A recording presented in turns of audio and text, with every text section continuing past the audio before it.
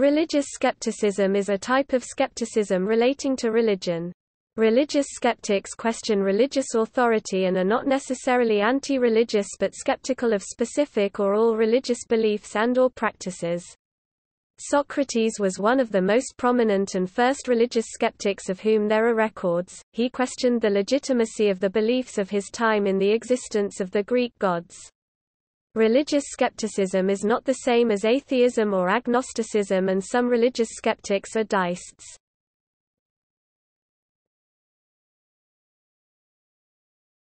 Topic. Overview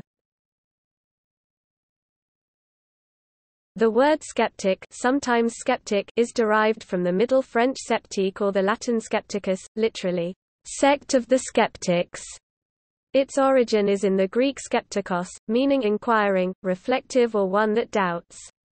As such, religious skepticism generally refers to doubting or questioning something about religion. Although, as noted by Schellenberg the term is sometimes more generally applied to anyone that has a negative view of religion, the earliest beginnings of religious skepticism can be traced back to Xenophanes. He critiqued popular religion of his time, particularly false conceptions of the divine that are a byproduct of the human propensity to anthropomorphize deities. He took the scripture of his time to task for painting the gods in a negative light and promoted a more rational view of religion. He was very critical of religious people privileging their belief system over others without sound reason. The majority of skeptics are agnostics and atheists, but there are also a number of religious people that are skeptical of religion. The religious are generally skeptical about claims of other religions, at least when the two denominations conflict concerning some stated belief. Some philosophers put forth the sheer diversity of religion as a justification for skepticism by theists and non-theists alike. Theists are also generally skeptical of the claims put forth by atheists. Michael Shermer wrote that religious skepticism is a process for discovering the truth rather than general non-acceptance. For this reason a religious skeptic might believe that Jesus existed while questioning claims that he was the Messiah or performed miracles see Historicity of Jesus. Thomas Jefferson's The Life and Morals of Jesus of Nazareth, a literal cut and paste of the New Testament that removes anything supernatural, is a prominent example.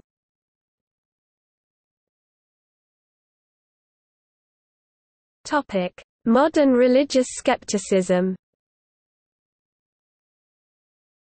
The term has morphed into one that typically emphasizes scientific and historical methods of evidence.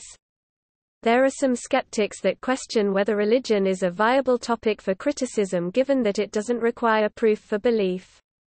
Others, however, insist it is as much as any other knowledge especially when it makes claims that contradict those made by science. There has been much work since the late 20th century by philosophers such as Schellenberg and Moser, and both have written numerous books pertaining to the topic. Much of their work has focused on defining what religion is and specifically what people are skeptical of about it.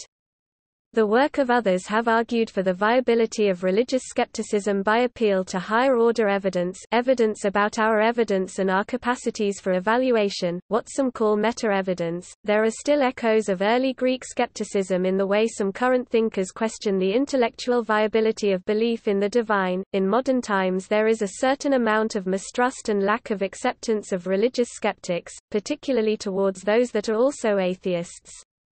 This is coupled with concerns many skeptics have about the government in countries, such as the USA, where separation of church and state are central tenets.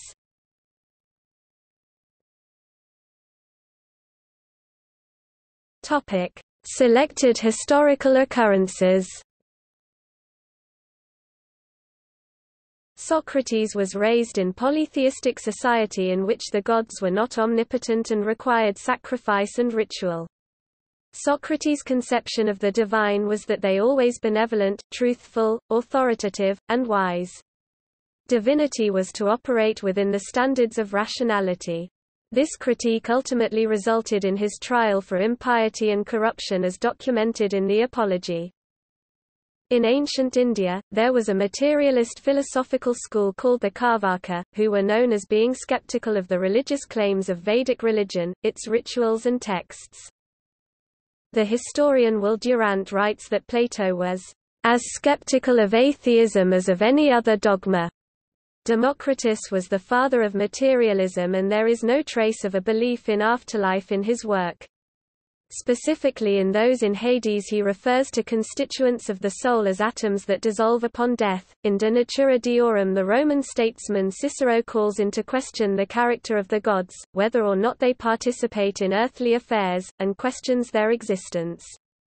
This is a significant evolution from his earlier writings wherein he was more accommodating to religion in the poem De Rerum Natura Lucretius introduces Epicurean philosophy to the Romans and proclaims that the universe operates according to physical principles and guided by fortuna, or chance, instead of the Roman gods. Thomas Hobbes took positions that strongly disagreed with church teachings.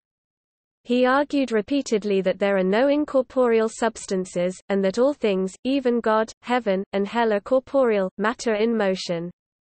He argued that, Though Scripture acknowledge spirits, yet doth it nowhere say, that they are incorporeal, meaning thereby without dimensions and quantity. Voltaire, although himself a deist, was a forceful critic of religion and advocated for acceptance of all religions as well as separation of church and state.